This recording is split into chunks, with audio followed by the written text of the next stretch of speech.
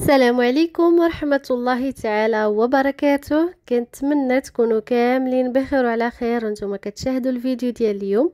غنشارك معكم اليوم كيك يومي اقتصادي بحبة بيض واحدة. كيجي بحجم عائلي. كيجي خفيف مفشفش لذيذ بزاف ما تبعوش منه. بطريقة سهلة مكونات بسيطة. غير تبعوا معايا المقادير والطريقة. إن شاء الله غتحصلوا على نفس النتيجة. وغتولي عندكم وصفة معتمدة.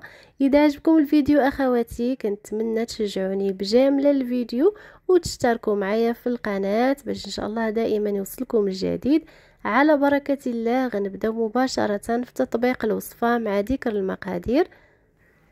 فبسم الله على بركة الله دائما الخطوة الأولى في تحضير الكيك هي تحضير القالب اللي غنستعملو دهنته بالقليل من الزبدة رشيت فيه القليل من الدقيق. غنحتفظ به داخل الثلاجة وغنمشيو مباشرة باش نوجدو الخليط ديال الكيك. بالنسبة لهذا المول اللي استعملت هو مول متوسط الحجم ديال 24 سنتيمتر في القطر ديالو. بسم الله في إناء كنوضع حبة واحدة من البيض ولكن ضروري تكون بدرجة حرارة المطبخ. كنضيف عليها كيس من السكر منسم بالفانيلا مع كاس من السكر حبيبات. كنطرب هذا الخليط جيدا حتى كيصبح عندي اللون ديالو أبيض. كنحس بحبيبات السكر. دابو ما بقاوش آه، كيبانو. ضروري تخلطوا جيدا في هذه المرحلة الأولى.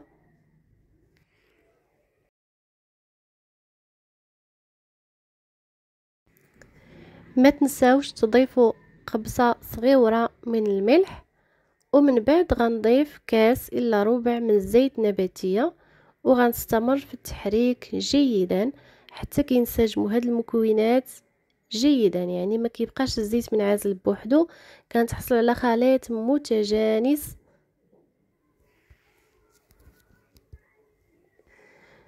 هنايا غنضيف علبة من الياغورت. أنا هنا استعملت نكهة جوز الهند صراحة جات خطيرة في المذاق. ممكن تستعملوا نكهة الموز أو نكهة الفانيلا. وزن العلبة 110 غرام. بالنسبة للياغورت هو الزبادي. كنخلط جيدا ومن بعد غنسم الكيك ديالي بقشور الحامض. غنبشر هاد الحامضة القشور ديالها كاملين بالنسبة للقشرة الخارجية كاملة. باش كتجيني الكيك ديالي منسمه بقشور الحامض كتجي لذيذة بزاف ومنعشة. وبالنسبة لها لهاد الحامضة هادي غنعصر النصف ديالها لأن عندي حجم كبير. مهم كتحتاجوا ربع كاس من عصير ليمون الحامض. كتضيفوا عليه الماء اللي كيكون دافي. كتحصلوا على كاس إلا ربع من عصير الحامض مع الماء. الماء ما تضيفوهش بارد ضيفوه دافي شوية. كنصفيه وكنضيفه للخليط وغنخلط جيدا باش كينسجم ليا مع المكونات الأولى. الآن غنبدأ في إضافة الدقيق. هذا الكاس الأول.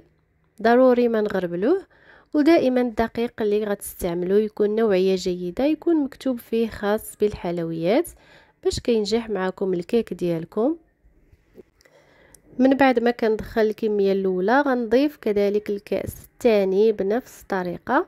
بالنسبة لكل كاس كيوزن 100 غرام يعني كنعمرو بالملعقة وكيكون ممسوح. كنحاول ندخل دائما كميه بكمية ما نضيفوش الدقيق كله مرة واحدة. كنحاولوا ندخلو كاس بكاس كنخلطو مزيان حتى كينسجم مع الخليط. بالنسبة للكاس الثالث غنضيف النصف ديالو فقط مع جوج أكياس من خميرة الحلويات المجموع ديالهم 16 غرام. الخمارات إلا شفتو فيهم هكا تكتلات حاولوا تغربلوهم مع الدقيق. والآن غنخلط جيدا الخليط ديالي. غتشوفوا معايا القوام ديالو راه ما كيكونش خفيف بزاف وماشي عاوتاني ثقيل أكثر من القياس. المهم غتشوفوا معايا القوام اللي خصكم تحصلوا عليه. أنا هنايا بالنسبة للدقيقه راه خدا ليا جوج كؤوس ونصف أو لا ما يعادل 250 غرام من الدقيق بالنسبة للفران فهاد الادنى راني شعلت عليه باش يسخن مزيان. كنشعل عليه غير من الأسفل فقط وكنخليه يسخن مزيان مزيان.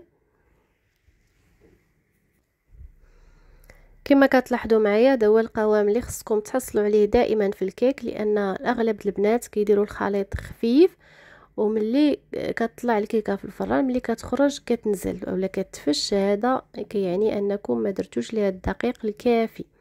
يعني خليتوا الخليط خفيف بزاف. القوام هذا راه كتجي الكيكة خفيفة وهشيشة غير تبعوا معايا هاد النصائح. الآن غندخلها الفرن وغنقص عليها عافية مهيلة بزاف بحال الشميعة حتى طيب على خاطرها وتحمر من الجوانب. عاد كنشعل عليها من الفوق باش كتحمر من الوجه. هنايا من بعد ما خرجتها من الفران مباشرة وهي باقا سخونة ما شاء الله كتجي محمرة طالعة منفوخة. بالنسبة للطهي في الفرن كهربائي نفس الشيء دائما.